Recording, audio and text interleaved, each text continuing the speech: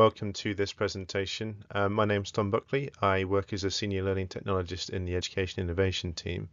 And I wanted to put together just a short kind of presentation for people who have been asked to support a lecture capture or an event capture. Now there's various technical things that you'll have to learn uh, when doing this kind of process. But from my own experiences, there's other, one or two other things that you can uh, focus on or just concentrate on and I'll cover those things within this presentation. And if you do these things, it'll mean that you get the most out of the experience that you possibly can. So this presentation will go through the pre-session checks needed to maximize the utility of your event capture. And this is aimed at users of Panopto at UWE um, and users in an event support capacity. So before watching this, you should really have some experience of using Panopto and you should have some experience of using the uh, technologies in teaching rooms in the University of the West of England. So within this presentation we will cover how to tweak the sound for your presenter and how to manage the camera feed of the presenter. And uh, these are really, really important for getting a good product at the end of it. And they're things that you can't really do much about in post hoc editing. So it's really important to get a good run up and do these a few little things uh, and you should be able to get the best product possible. So before the event, what do you need to do before the event? So this is before the day of the event. You'll need to know what the room is like. Okay, so where's the light coming from? Is there noise pollution coming from fans outside? Is there Wi-Fi in the room? Is there a camera, a static camera already installed there? Is Panopto on the machines? Now, for 2017-18, we can kind of assume that uh, there will be Panopto within all the teaching rooms, but maybe it's not got a, maybe it's not technically a teaching room. Maybe it's a meeting room. Uh, maybe it's got no IT equipment in it, and it's just an ad hoc kind of thing that you'll have to capture. You can still do it using Panopto, but you'll need to know that information with enough time to do something about it. Um, you need to pack a webcam for the event, and we'll come on to why as a learning technologist now, really, you should be packing a webcam wherever you go. Should be uh, in your utility belt, your toolkit of every, the things that you have on you. You'll never know when you use it, need it. Uh, they're always useful.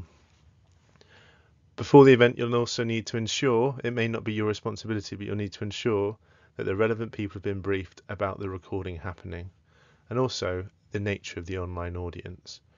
So you need to know that when you get there, the presenter will know they're being recorded and will be happy with it, and that they have understood the risks of doing an online presentation. Now, this could be broadcast live, it could be uh, recorded for posterity, and there are slightly um, skew kind of rules to do with copyright and everything, which means the risk profile of doing each one of those things is slightly different, or even recording it at all.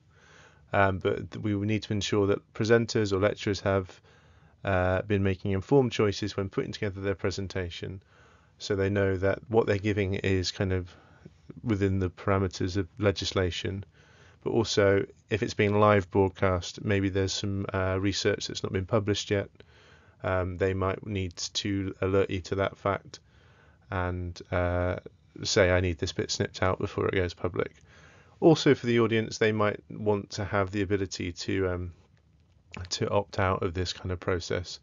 Now there is a few quirks with uh, Panopto as we know it will continue to record even when you pause it as a fail-safe option so uh, we need to bear that in mind when we're taking audience questions for people that said I definitely do not want to be recorded. Uh, and in small teaching rooms the uh, webcams are set up with a kind of omni field around them, so it records all around them. Um, so actually, we can pick up audience discussion, albeit at a slightly terrible sound quality. Um, so we will need to be mindful of those kind of conversations, and we need to uh, give uh, everyone that's involved the, the option to opt in, opt out, or reframe what they're doing for the event. Um, you also need to know before the event whether you're doing a webcast or not, because uh, there might be some good practice, which you can see in a different video about how to do a webcast successfully, which you wouldn't need to worry about for uh, for a live for a non-live recording. So if you're recording it for students to watch at a later date, you can do stuff in post editing. You can do stuff with different feeds feeding into it. You can have a HD camera at the back of the room, and you could layer that into it, so you've got a nicer feed if you're doing it for a webcast uh, for a webcast, you may want to Also dial down the quality of the uh, the feeds that you're streaming to make it uh, more user friendly for uh, for bandwidth kind of reasons. And you might not want to do that if you were just recording it straight off the bat to uh, to um, edit at a later date. So you need to be aware of all these things. On the actual day, uh, I thoroughly recommend meeting with the presenters before the time allotted. Uh, so it might be um, the morning of, the hour before, 10 minutes before they get there. You'll need to have a conversation with them and understand how they intend to behave during the presentation. That sounds really weird. They're not going to be kind of uh, truculent. They're not going to be arrogant. They're not looking for that kind of behaviors. What you're looking for is where's their field of movement? Where is the furthest they're going to go? Where's the, the what's the volume they're going to speak at? Are they going to use the visualizer? Are they going to use some kind of in-class things that we could try and capture some kind of audience participation? From that, you can set up the sound levels and you can set up cameras for logical shots of the presenter. Uh, and also you can both take responsibility for the recording and the recording environment. So you can say, okay, we've discussed about how you're going to move. I've set the camera up. Uh, you now need to watch that tile on the floor. If you go ahead of that tile, that means you're out of shot. Okay, this is your product. Do you want that bin in the background? Do you want that poster in the background? Do you want to be showing all your bags and stuff? No? Okay, well, let's take responsibility for that environment together. Uh, it's really useful and uh, it will allow you to accommodate their behavior. The first part of accommodating uh, the presenter behavior is the sound test. Um, sound tests will allow you to decide what microphone you're going to need. Are you going to need the wireless mic pack? Are you going to just be able to go on the lectern microphone? Um, the lectern microphone is often selected, but you know it's it it's static. It's not going to move around with the presenter. So if they are going to just move around, take questions, sit from water, go and stand next to the wall and point up at the screen, you may probably be better off with the wireless mic. Then that means when you go to further towards the sound test, you've got them mic'd up, you've got them in position, you can then make sure that you've got the right microphone selected. So this audio option here um, is a drop down and with the more complicated lecture theatres, that drop down will, con will, contain many different things, especially if you've added some webcams. It'll contain many different videos, feeds uh, with audio on, and it'll be asking you which one of these do you want me to, which one of these do you want me to actually um, record off. So you need to make sure that the one you're using is the one that you kind of have set up. Now you'll be looking to discount the brand name webcams if you're not using their audio, so you'll be able to see, oh, Polycom, no, that's not mine. Sony, no, that's not the one I'm looking for, or something be something like Realtek or Line In, or some kind of um, other audio feed. And you'll be able to see uh, if it's a live audio feed or not because you'll start to get these levels here going up and down um, uh, as it receives audio. So make sure you're testing the right microphone. Make sure you're testing the right recording volume. Uh, everyone will speak when they're presenting a little bit louder, a little bit faster, a little bit more bubbly. Um, so when you uh, get the presenter to do a short part of their presentation, maybe you'll record it, maybe you won't. Um, what you need to really monitor is this bar here because if it goes anywhere to, towards the yellow when they get louder, or uh, if it goes into the red even, that means your sound quality is irreparably damaged. So you need to make sure that this bar is as close probably to here as you possibly can get. Because um, if it goes into the red, it'll do something called clipping, and that's when someone shouts and it sounds like someone slapping a baking tray on the table.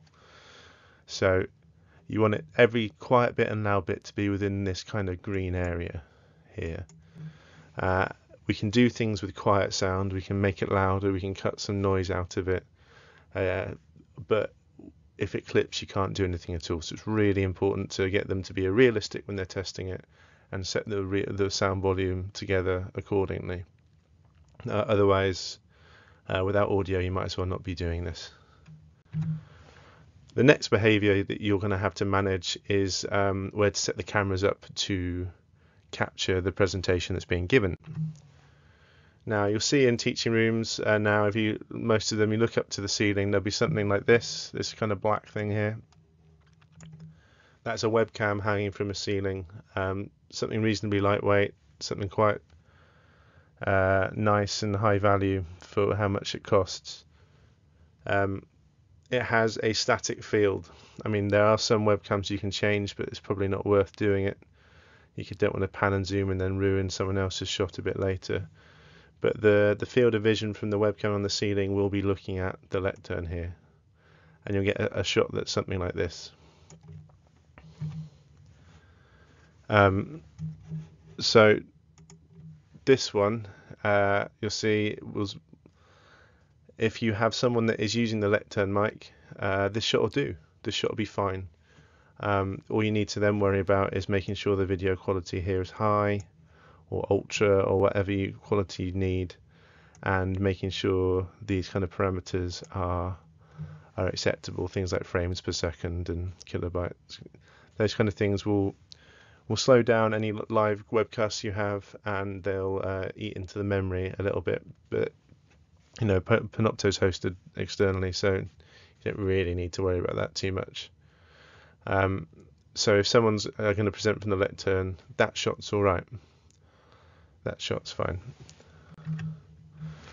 Um, but most of the case, we get something called uh, a lectern capture. So most of the time we get something called lectern capture, which is when you have this shot and you have the audio's fine and the presentation's fine and it's progressing, but you've got just a lonely shot of an empty lectern and maybe the side of a, a man or a woman will just come into view every now and again. Because in reality, someone's over there um, presenting from the other side of the room. No one likes to have a barrier in between them and the audience. No one genuinely wants to stand behind a lectern, so more than likely they'll have a, a slide advancer in their hands and they'll be going around more naturally talking to people. What we can do about this is add another video source. So this shot you can still capture uh, but you can add another source of video. So you're actually capturing not only the static shot of when someone's behind the lectern, you can take a webcam and set another shot to accommodate the presenter's behavior. So using any of the plethora of USB sockets either on the machine, on the screen, or on the dashboard on the lectern, you can actually you've got quite a lot of uh, leeway to place your own webcam in a stable position uh, to accommodate presenter behavior. So here are some examples from uh, our teaching equipment we have at UWE. You can plug it into the screen and use it on the visualizer. See this? That's the thing uh, we call the visualizer. Uh, we can then stand next to it here and you'll see this eye of Sauron looking at you from the lectern and give you a reasonably steady picture, reasonably straight picture. Or you could use the screen, which is probably the most useful. So this one is um, here. I think this is plugged into the screen. We'll move around with the screen. And as I said, no one likes to present with a barrier in between them and their audience. So more than likely, if they are a, a decent presenter, they will have moved the screen out anyway to allow them to be uh, talking directly to the class but still see the PowerPoint slides without turning around. So this will give, give them a field of vision on the screen and the camera field of vision on the presenter. So it's a kind of win-win. You can even turn the screen out further. And that means you can start capturing stuff like this, like seminar activity. Uh, the microphones again are quite good. It's not going to be like uh, last night at the proms audio quality from a webcam, but you can pick up a lot of the conversation for posterity. So uh, it gives you loads of options to actually set up a secondary field. And what you can do afterwards, um, it, well, during and afterwards, it allows you, the student or any consumer, to go down here and select different options depending what they want to see at any time. So if you wanted to be quite uh, lightweight, you could say, all right, all the streams are up there. Go watch the thing, and you manage when you want to see the student's view and when you want to see the presenter view, or when you want to see, in this case, the static view of the fire hydrant or Steve Neal. Um, so they can do that by selecting down here. But if you're looking at a final product, you can do in editing, um, you can change the focus between um, uh, between the second or the primary feed and then maybe you'll get whatever's on the screen but then you could swap between that one and change the focus to somewhere else, all using some all using Panopto. So the final product will switch between different feeds depending on what you've said as the focus at that point in the talk, which is actually pretty phenomenal. So the more feeds you have, the more options you have in editing afterwards. Uh, thank you for listening to me burble on. I hope that was useful. It was more of a kind of how do we practically leverage uh, the lecture capture setup we have here because it's a great system. Um, but generally, lectures happen in kind of different ways in different places, and uh, and everyone has different, slightly different needs from it. Um, so I hope that's useful for you going forward. Uh, this is the team, Education Innovation team. I know you can find us on YouTube because you're watching this video. But um, if you want to follow us on Twitter, please uh, add us at Ed Innovation edinnovationhas. And uh, I wish you the best of luck supporting event captures in the future.